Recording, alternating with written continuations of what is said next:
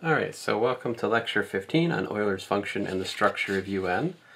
Um, let me give you a quick rundown of what we're going to talk about. So the group of units in UN has a special structure. I'll explain how to express UN as a product of cyclic groups up to isomorphism. This will allow us to find the group exponent, which is important for our future study of RSA encryption. And also, when UN is cyclic, we'll examine how that allows us to solve certain nonlinear congruences via substitution. And we'll also find additional formulas to aid in the calculation of the Euler function. All right, so let's get to it. First of all, um, we'll review a little bit about isomorphism.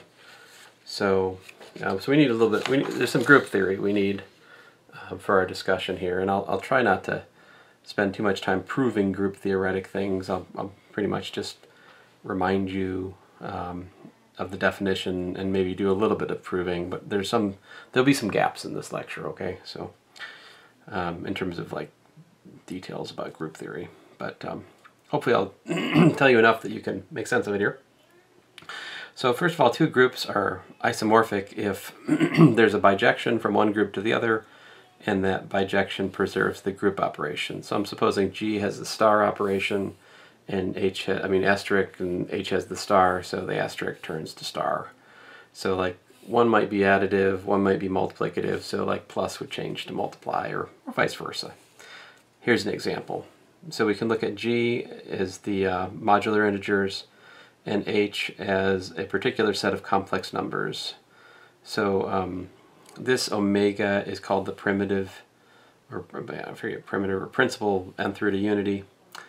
Um, and um, if you look at it, when you raise it to the nth power, it goes back to 1 again. So this h is the set of 1 omega omega squared da, da, omega to the n minus 1, where omega is this particular complex number right there. Now, the isomorphism from g to h is relatively simple. What you do is just say psi of the uh, modular, um, psi of the congruence class with representative j, we just map that to omega to the power j. Now whenever you make a definition like this, it begs a question, is that, is that well defined? Because if I used a different representative for the equivalence class represented by j, would I get a different answer? Well, well I don't. See, because if I had this equal to j equal to j prime like that, that means j prime is j plus a multiple of n. But then, when I calculate omega to the j prime, I get omega to the j plus nk, and that is omega to the j times omega n to the k, but remember omega to the n is just 1, so there you have it. Um, we have that omega j prime is omega j, which means it doesn't matter what we choose for our representative, we get the same answer, so the map is well defined. And um, it's also easy to see that this map has an inverse because you can write the inverse down with this formula right here, and you can check that it's an inverse.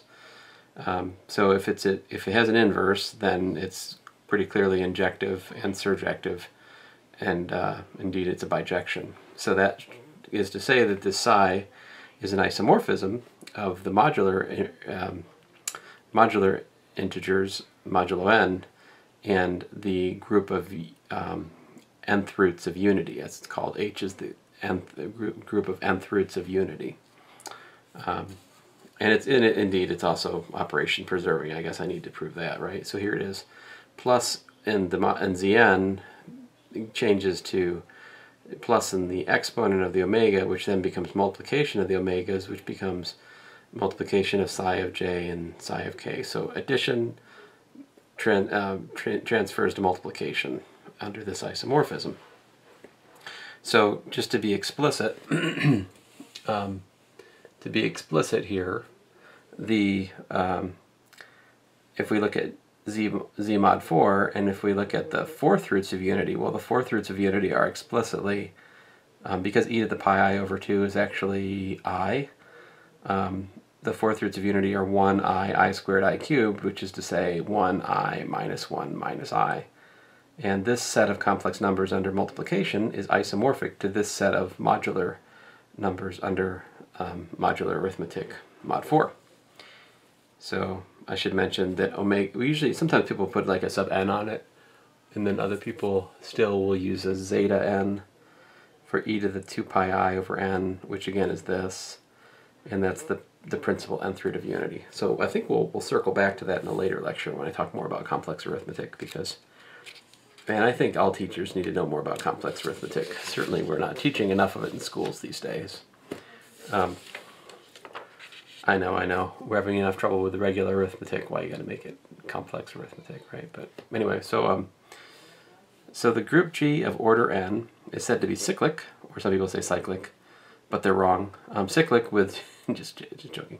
Cyclic with generator G if G is equal to E G G squared da, da, da, Gn minus one, and we'll write G is generated by G in this case. For an additive group, the um, generated by G it's it's multiples like uh, g, g plus g, g plus g plus g, all the way out to n minus g added to itself n minus 1 full times. All right, here e is the multiplicative identity. Sometimes we call that 1. Um, in the additive case, e is 0. All right, so here's some examples. zn, well that's cyclic because if you take 1 and just add it to itself repeatedly, you get all of zn. So zn is cyclic. Um, here's another example. u10, which has got a 1, a 3, a 7, and 9, mod 10. Well, if you look at 3 squared, you get 9. Um, 3 squared is 27, but mod 10, that's 7. 3 to the 4th is 81, but mod 10, that's 1. So this shows you that powers of 3 give you everything in here, right? And also powers of 7 give you uh, 7 squared is 49, which is congruent to 9 mod 10. And then 7 cubed is 9 times 7, which is 63, which is 3, and then 7 to the 4th is, is 1, mod 10 again. So either 3 or 7 serve as generators. So we have U10 is generated by 3, it's also generated by 7. Thus U10 is cyclic with generators 3 and 7.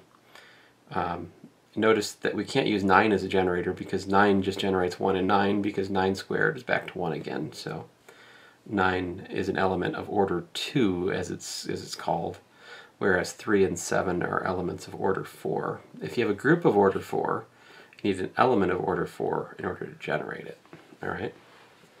And if it's not possible to generate the group by an element of order, whatever the order of the group is, then the group is not cyclic, okay? Uh, so here's a theorem. A theorem. If G and H are cyclic groups of order n, then G is isomorphic to H. So any two cyclic groups of the same order are isomorphic. In, in other words, they're essentially the same group with just different notation being used as a way to think about that.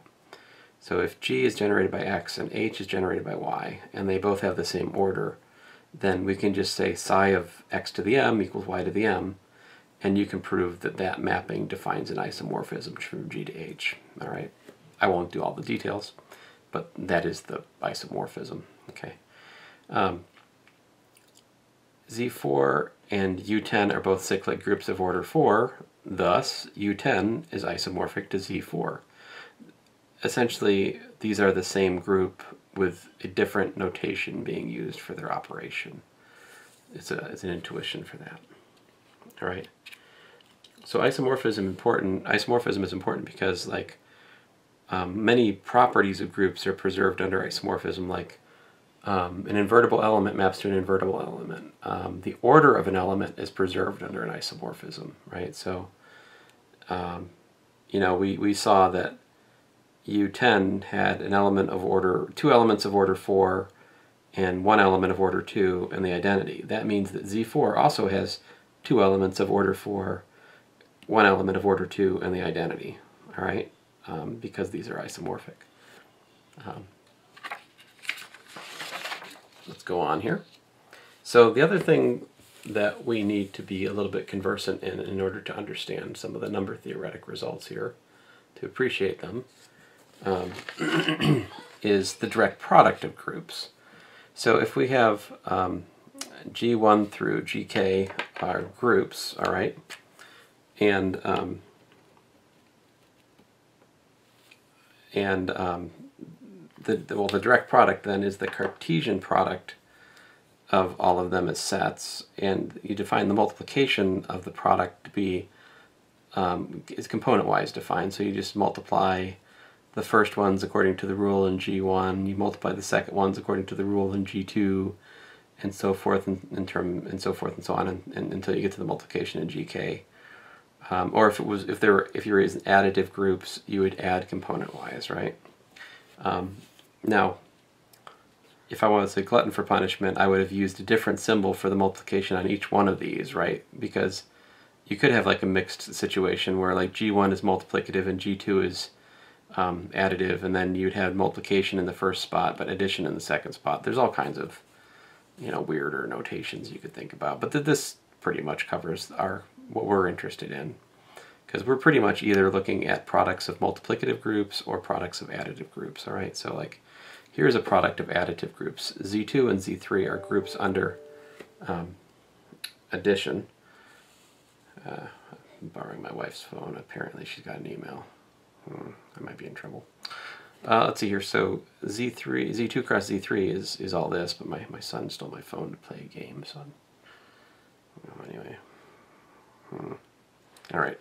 Um, so yeah, I might have to give that phone up here. Uh, rats. Right, let's continue. Um, so Z2 cross Z3, it's got these six elements, okay? And it's easy enough to see that if you look at multiples of 1, 1, and you just, you know, add it to itself repeatedly, so here's 0 times 1, 1, that's always in there. Okay, I just got it out of the way before I forget about it. You get 1, 1, and then 1, 1 plus 1, 1, and then 1, 1 added to itself 3 full times, 4 full times, 5 full times you work out the rules mod 2 and mod 3 in the first and second um, components respectively and you get this set of tuples which is exactly all that there is. So that shows you that Z2 cross Z3 is in fact a cyclic group of order 6, right? So if it's a cyclic group of order 6, therefore Z2 cross Z3 using the previous theorem it's isomorphic to Z6 as it happens, right? Okay. Oh, well, here's the theorem. If the um, R, if the moduli are coprime, then ZR cross ZS is isomorphic to ZRS. All right. And um, here's the proof down here. And um, part of the reason we covered uh, the Chinese remainder theorem, besides that it's just helpful for understanding how to solve systems of congruences is because it's also necessary to understand this isomorphism. So we'd send psi of the RS X RS um, congruence class to the pair of X sub R and X sub S congruence classes. So we do mod R for this one, we do mod S for that one. I show it's well defined. All right, great. And then um, I say, okay, so to show it's surjective, if we pick an arbitrary A and B in respectively ZR and ZS, right, that's an arbitrary thing in ZR cross ZS, we want to find an X in the RS congruence. Um, so the RS congruence is which maps to this pair, right, under the isomorphism. Well, what that means is we need to solve X congruent to A mod R and X congruent to B mod S simultaneously. Hey, a simultaneous set of linear congruence with coprime moduli. That is what the Chinese remainder theorem is all about. The Chinese remainder theorem gives us a unique solution to that, modulo RS. So there you have it. That proves that the, the isomorphism is onto.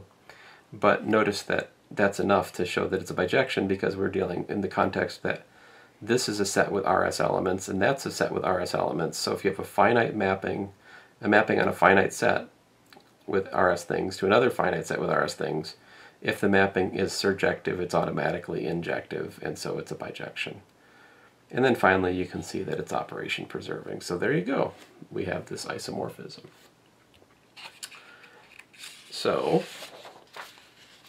and that isomorphism is also kind of the same one that you can use. It's not quite, well, yeah, it's the same map, but different interpretation.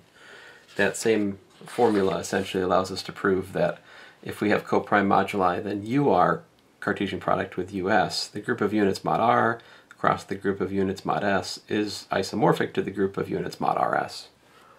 Again, it's important that RS and be coprime, R and S be coprime. If they're not, this is not true.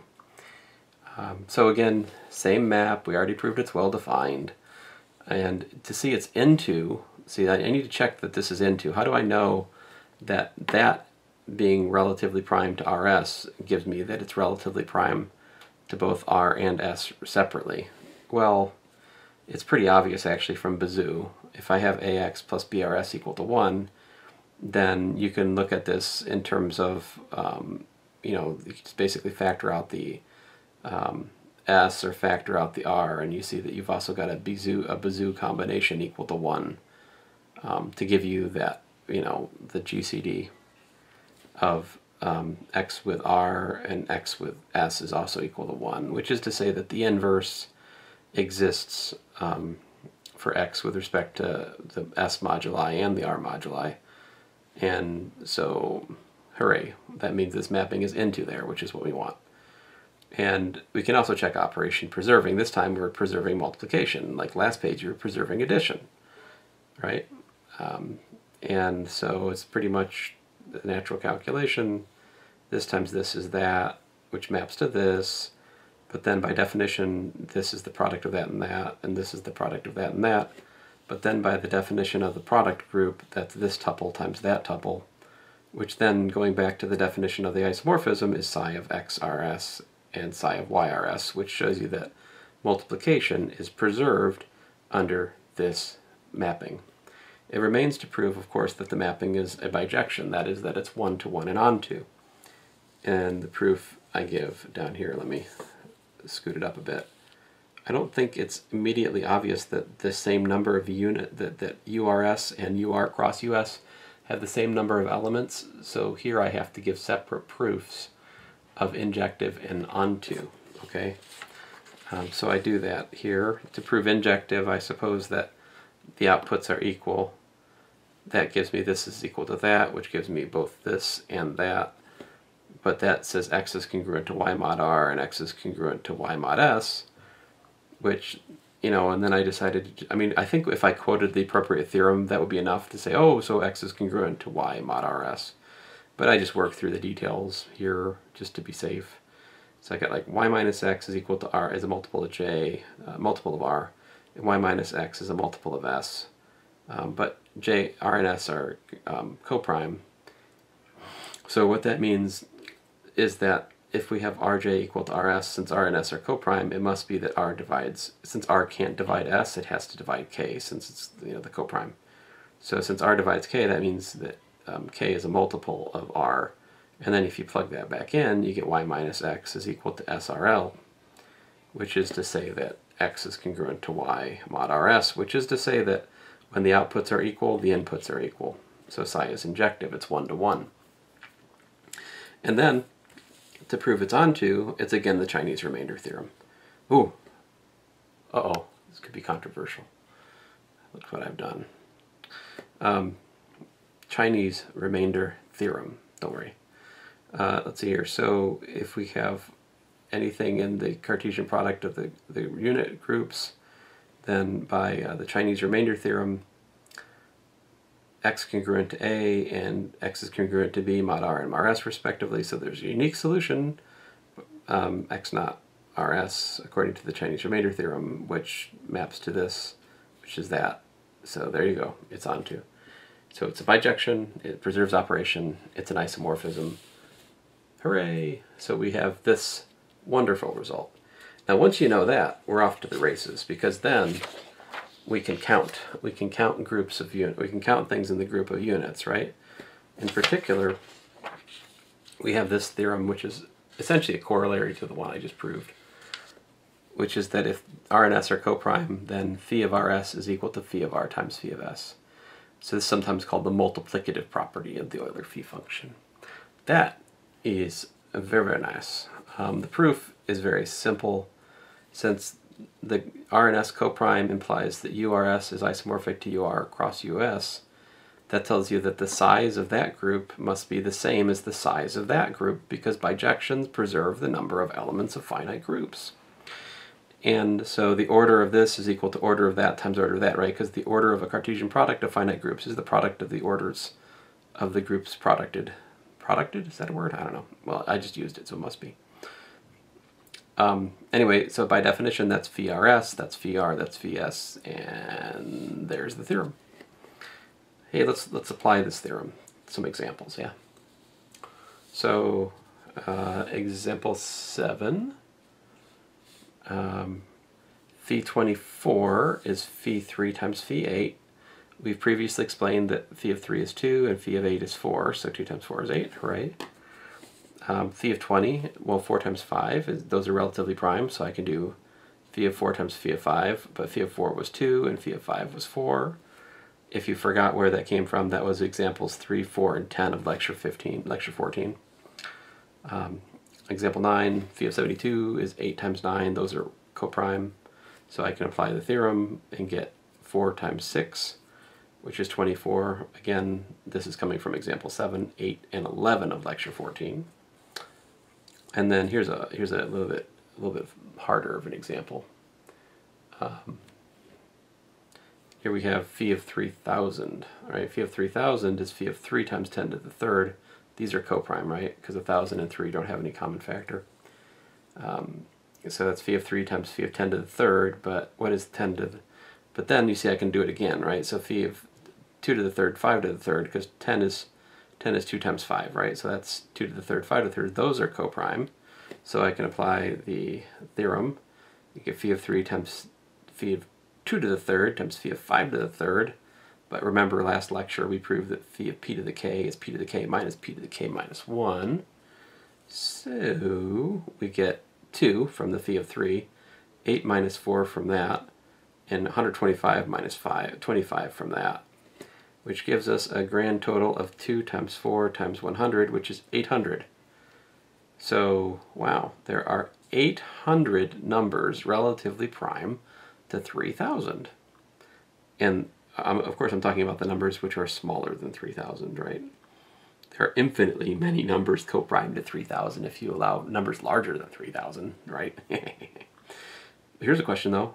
Um, so, so what? We've proved that the order of the group of units, mod 3000, is 800. Is it cyclic? Is there one number that will generate all of these 800 numbers? Is there an element of order 800 in this group? I don't know. Um, well, that's what we're going to spend the next few pages kind of trying to gain tools to unwrap that question, okay? But this much we can say on the basis of these theorems is that for distinct primes, um, for distinct, distinct primes P1 through PS, if you have these prime powers, since these are coprime, we can repeatedly apply the theorem at the top of this page and get phi of, this is, you know, phi of pk1, phi of pk2, phi of p Oh man. I already scanned this. I'm sorry guys, you're to have to add these.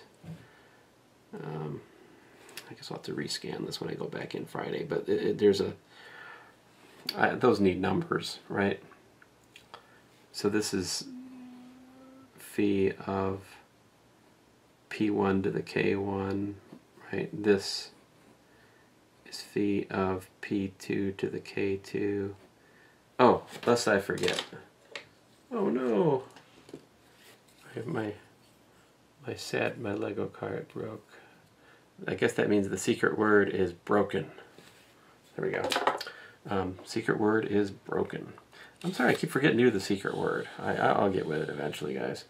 Um, all right, so moving on if uh, so, I want to talk to you a little bit more about product groups. What do we know about them? How can we understand them? How can we take them apart, so to speak? Um, given a product group, an element of the product group, the order of that element is the least common multiple of the orders of the uh, components. All right, so like here's an example. If I have 3, 2 in U5 cross U7, What's the order of 3? Well, mod 5, we calculate that the order of 3 is 4 because... Uh oh um, because if we look at powers of 3, we eventually get to 3 to the 4, which is 1 for the... So the smallest positive integer, which goes back to 1 in the power of 3, is, is 1. So the order of 3 is 4 in U5.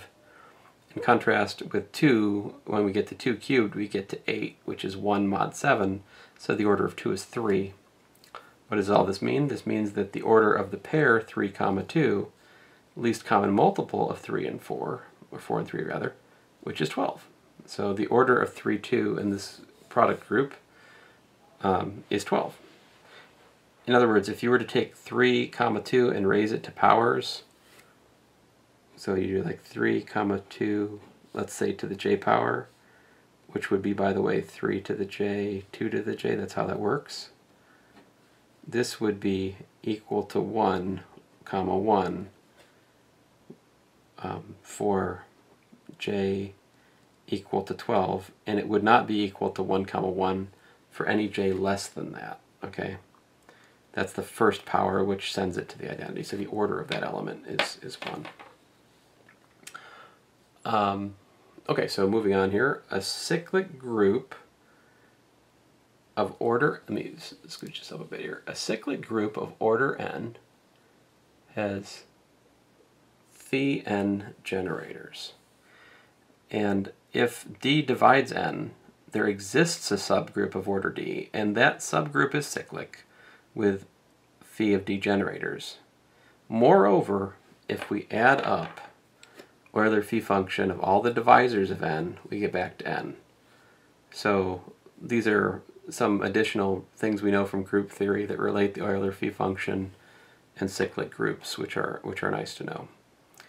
The proof of all of these things takes me a couple of hours to do properly. Okay, so I'm just reminding you some results. Let me see how they play out though.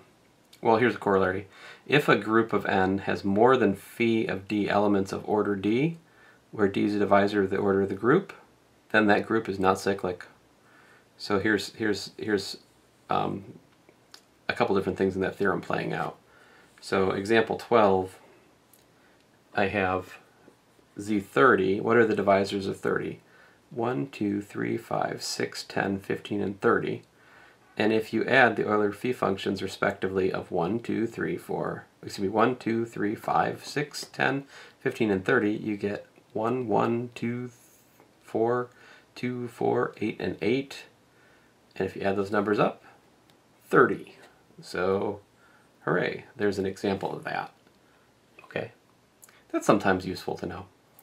Um, and then the other thing is the example 13, we can see that U8 is not cyclic since U8 is 1, 3, 5, and 7.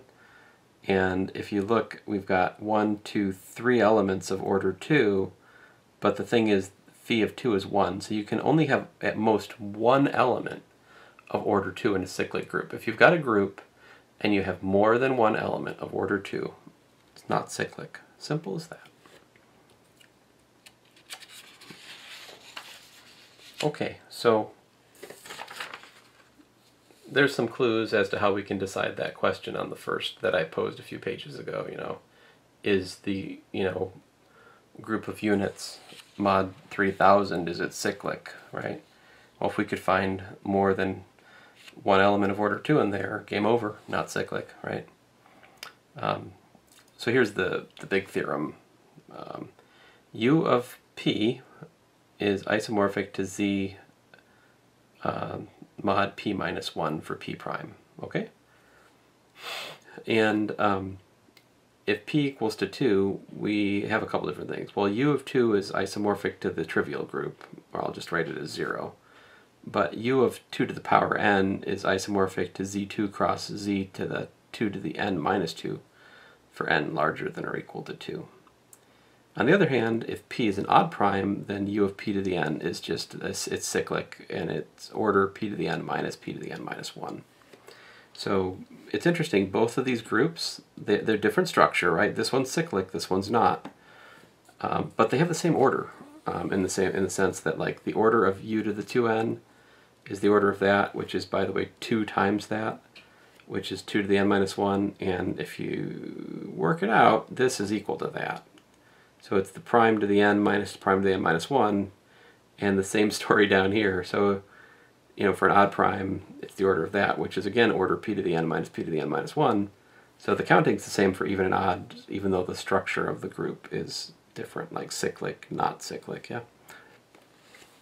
So, just to be a little bit more explicit here, um, u16 is u, to, u of 2 to the fourth, so that's z2 cross z4. All right, remember phi of 16 has 8 things as it turns out, because 2 times 4 is 8.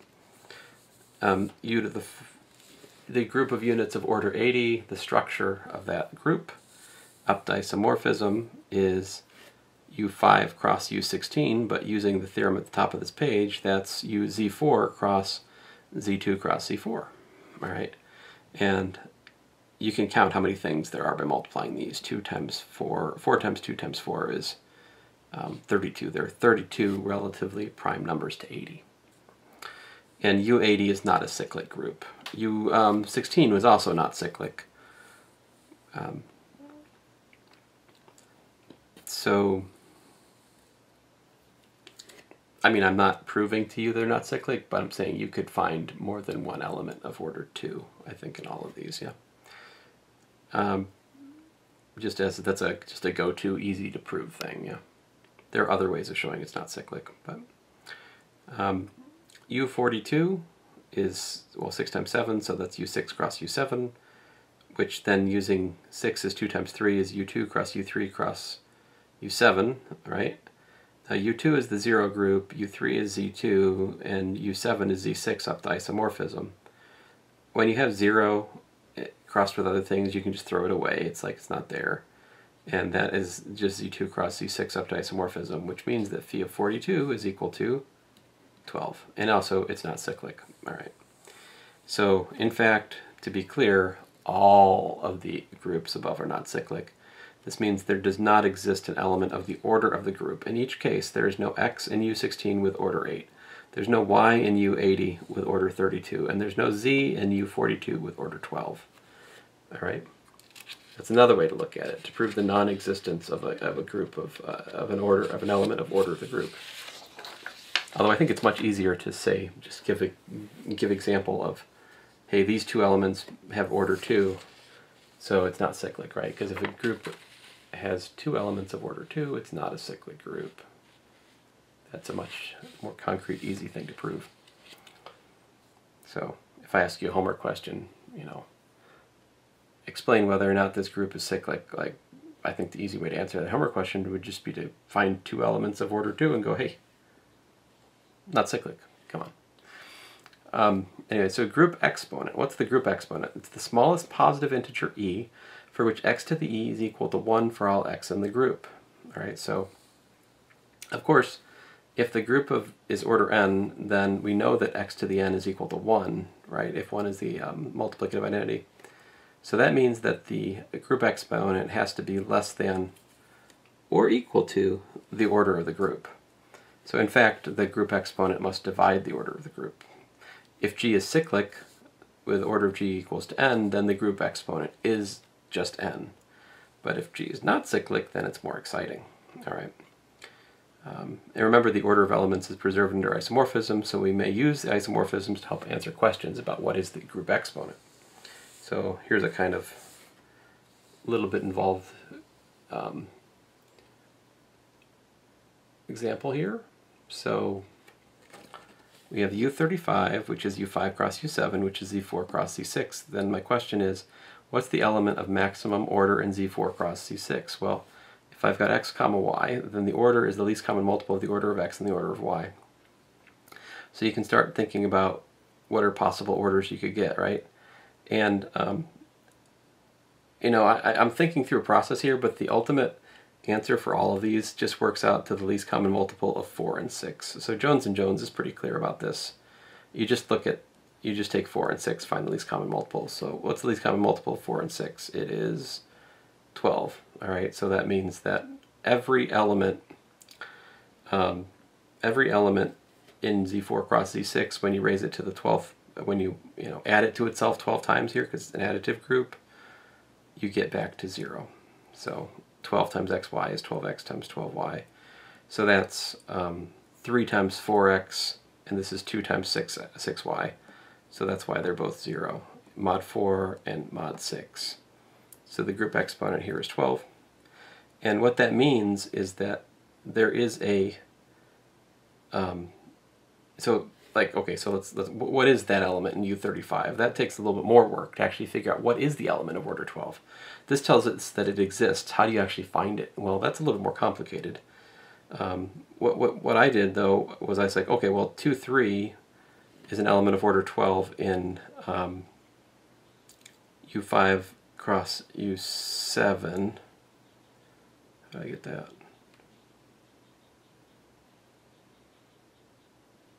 since the order of 2 is 4 in U5 and the order of 3 is 6 in U7. Um, all right, so that's just explicit calculation. You can check it. The order of 2 is 4 in U5, the order of 3 is 6 in U7. I haven't shown the details here. I use a calculator to figure that out, guys. Um, so then if we look at x congruent to 2 mod 5 and x congruent to 3 mod 7, you use the Chinese remainder theorem on that, right? And out pops x congruent to 13 mod 35. And that number, 17, has order 12 in U35.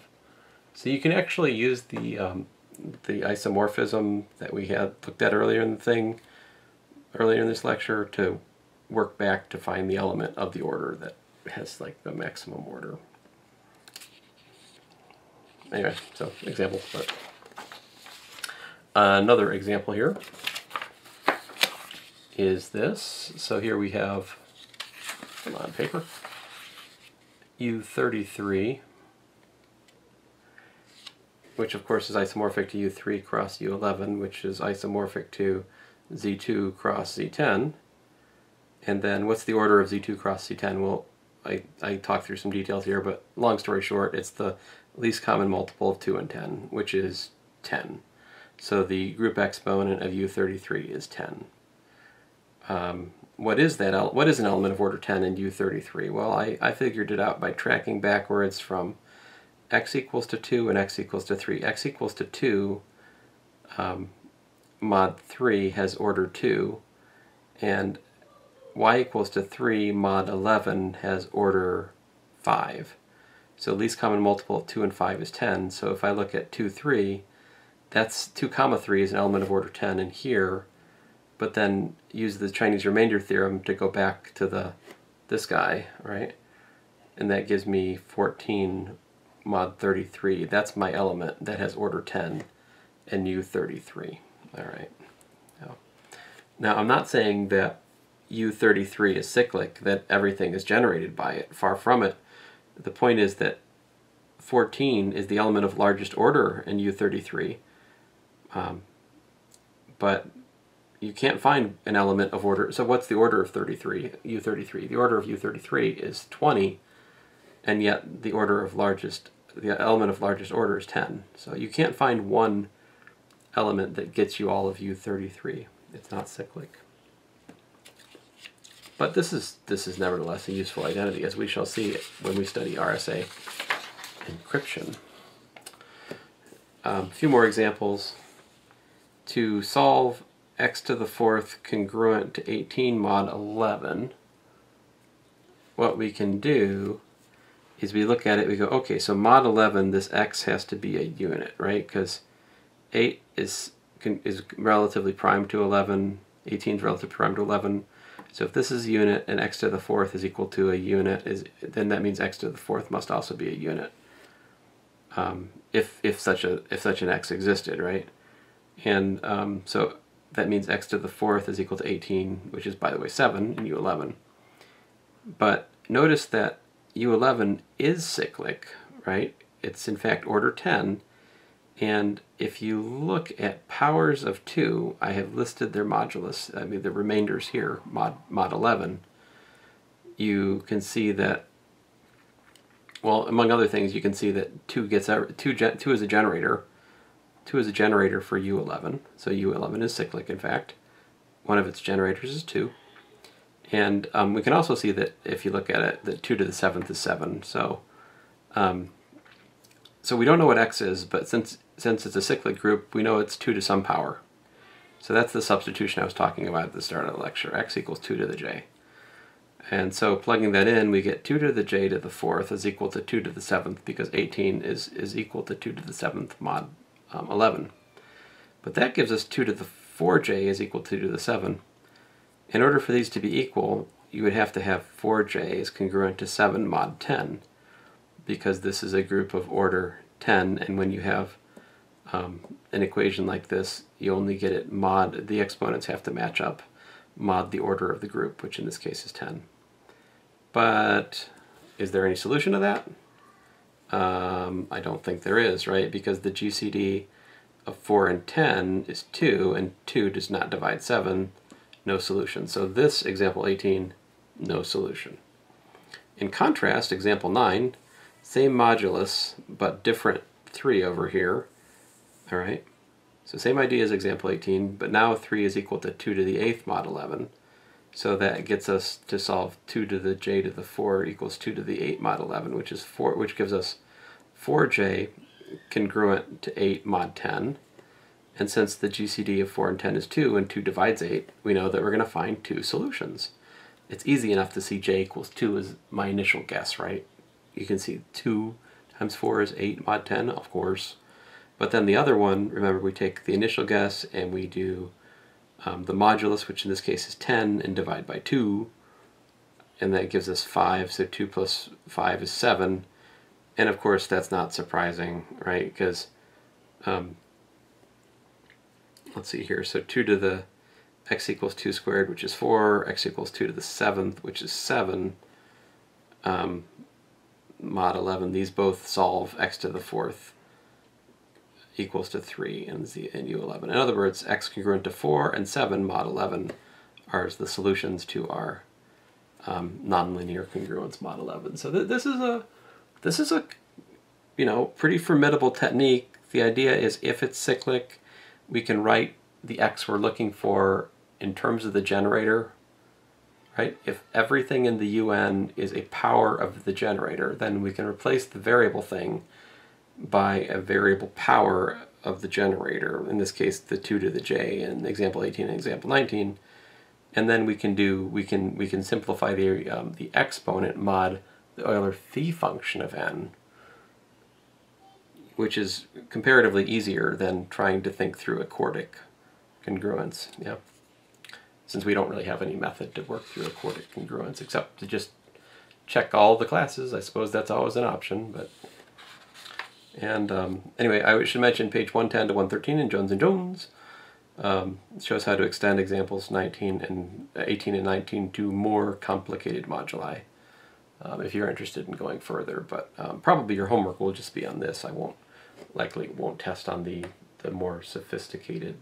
There's a couple more sophisticated directions that Jones and Jones goes to try to deal with when the group of units is like a Cartesian product of groups of units or when it involves um, there's a trick using 5 to a power for like the even groups but anyway too far into the weeds for us I think this more than suffices for for this class so thanks guys and enjoy.